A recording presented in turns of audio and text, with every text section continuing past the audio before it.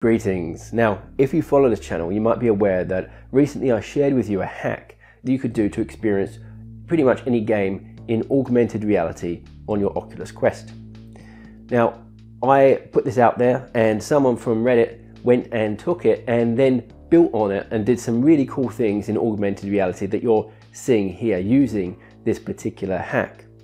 Unfortunately, in the very next update, Oculus removed this ability to actually experience anything in augmented reality. Now, as I said, it wasn't an official thing, it was a hack. So it was more like a bug really. And so Oculus basically removed that bug in their next version update, which was a shame because it was quite a cool feature. However, recently Oculus has started to support officially augmented reality in Oculus Quest.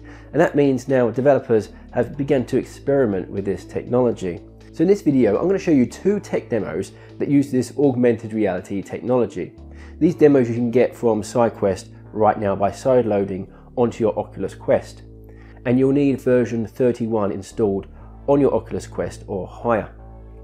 Uh, it also has some other requirements too, some other extra things you need to do in addition to sideloading. I won't go through all of that, the instructions are on the side quest. So when you go check out those games, it will tell you what you need to do. Quite straightforward to get it started. So like I said, these are tech demos. You might not find them that enjoyable, but they're not really meant to be. They're just novel experiences. So you could get to experience augmented reality in your Oculus Quest. So I do recommend giving them a go, just so you can experience that for yourself if you haven't already. Anyway, let's check it out. So let's start with the Cactus Cowboy Passthrough demo. Now, Cactus Cowboy actually has a few VR games too that you can get for free. I think most of them are also on App Lab. So here we are in the AR mode right now. We've got a selection of guns. You can see I can see the entire room that I'm in right now. Over there we have this cactus dude and here is my selection of guns. I think I might go for the AK-47, why not? And oh, it starts right away, here we go. Oh, I'm, I'm surrounded already by these are they Joker things, uh, and they seem to have guns as well. You can reload the gun with a clip and cock it back. Uh, they have dynamite on legs. I don't know what's weirder, being in this AR environment or these strange things coming at me. They seem to be coming from outside the walls. I wonder if they could ever make it so that they appear inside your play space. It might make it seem a bit more realistic. Ooh, Matrix bullet style dodge there. That's pretty cool. Let's see if we got health. Here we do, 47, not too bad. Seems so weird still, seeing my hands as cactus stumps. Now there's a sentence I never thought I would hear myself say. It is, it's pretty cool, like, it's a decent experience. I mean, I wouldn't be playing this for hours on end. It's worth a 5-10 minute go just for the fact that it's such a novelty. It actually reminds me of hand tracking when that first came out. There were no real official Oculus supported experiences from what I remember, and we had to go to SideQuest to download these kind of tech demo games so we could just experience it in a game kind of environment.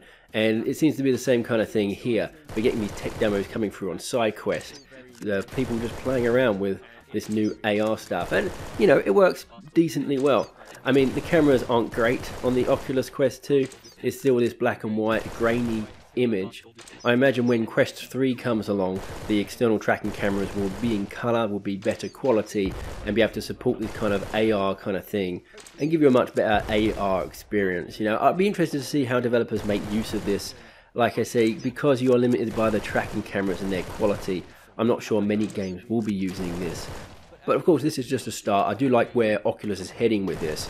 I think in the future we'll have headsets that are both capable of quality VR and quality AR experiences, sort of all-in-one headset like that. Just looking at all these uh, decapitated bodies around me. Looks like just a bunch of Lego blocks. It actually reminds me of my son's playroom once he's he's finished trashing the place. He just gets all his blocks out and it's just a ton of crap all over the floor to clean up.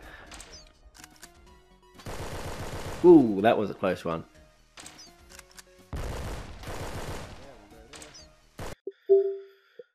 Jump back into my AR demo. So this is a lot simpler, this AR demo. Um, but let's check it out anyway. I think you can do things like create cubes and play around with the, the visuals a bit, but that's that's about it. By the way, you can see my high-tech camera setup over here. I uh, couldn't be bothered to take out all of my equipment, so I've got this uh, swivel chair. It actually works really well because it helps me turn the camera in the angle I want, and it's really easy to set up. And uh, so if you're wondering what that is, that's what that is. So we got this Oculus logo. I think this is like the developer kit, except it has a few changes to it. And you can fire cubes like this.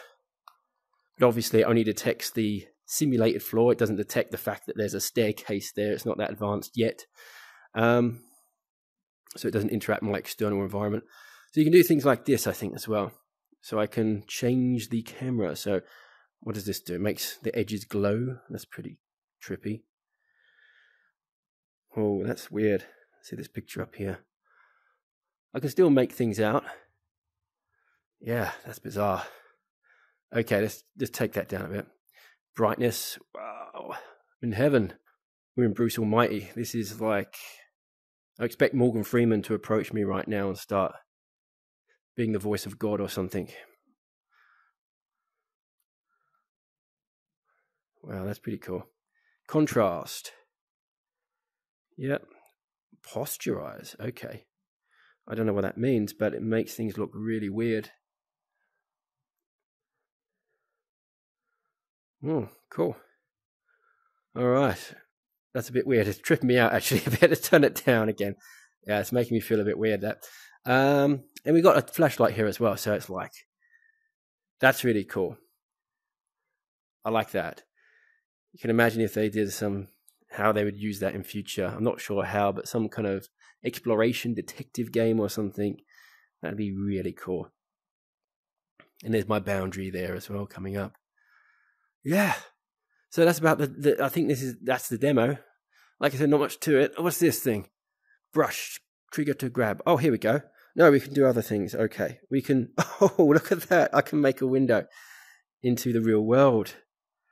That's insane. Now that's pretty cool.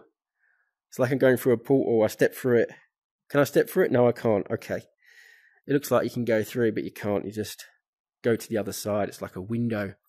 That's weird. That's really weird. Uh, A or X to undo. Okay, you can undo.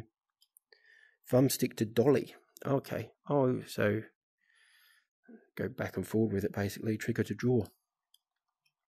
That's bizarre. Okay. Not sure exactly what the point of that is, but you know, it's strange. Maybe let's look. We've got different colors here. Maybe I can. Oh, I can change the edge colors as well. Look at that.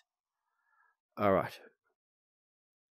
So I can make blue, yellow, red. Oh, that is strange. Whoa. That is strange.